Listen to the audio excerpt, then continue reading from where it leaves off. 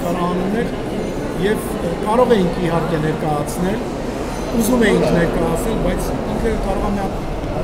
անշուտ փոքր բան դառնալ։ Բայց երբ որ հիմա դուք կտեսնեք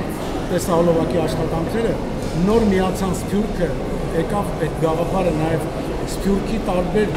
գաղութներում միացնել երգչախմբեր եւ այս ամեն ինչը որ դուք տեսնեք իսկապես կարծում կտպավորվեք ինչ մեծ աշխատանք է կատարվել եւ այդ աշխատանքը մոնտաժային կարող եմ անկեղծորեն ասել մոտ 1 ամսից ավել միայն առավոտ 6-ին ավարտվել եւ Վահան Սետրյանը ստուդիայից դուրս եկել առավոտյան ժամը 6-ին։ Աստորեն այսօր առաջին անգամ է ներկայացնում նաև համացանցով տարածքը։ Կարծում եմ այո, եւ այստեղ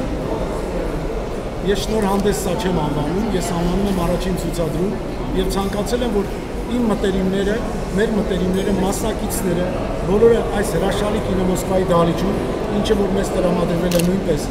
սիրահոժար, լավ հնչեղությամբ, լայն էկրանով մենք կարող ենք իսկապես արդյունքը տեսնել։ Քանի որ մասնակցել են, ելի եմ կրկնում, հազարից ավելի մարդ, այդ մարդկանց մի մասը հրավիրված են այսօր այստեղ, որպեսի լավ արդյունքով դիտենք տեսալով։